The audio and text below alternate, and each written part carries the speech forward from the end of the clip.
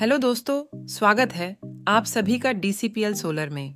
दोस्तों, आज की इस वीडियो में हम आपको दो किलोवाट के ऑफ़ ग्रिड सोलर सिस्टम की जानकारी देंगे, जो हमने झांसी में श्याम इंडस पावर सॉल्यूशन में लगाया है। दोस्तों, जिसमें हमने 540 वाट के चार पैनल यूटीएल के और 150 AH की दो बैटरी और एक इन्वर्टर लगाया है। दोस्तों, अगर आपके यहाँ भी बिजली की प्रॉब्लम है या आप भी अपने अधिक बिजली के बिल से परेशान हैं तो आप ऑफ़ ग्रिड सोलर सिस्टम लगवा सकते हैं, जिसके द्वारा आप अपने घर को ही बिजली घर बना सकते हैं।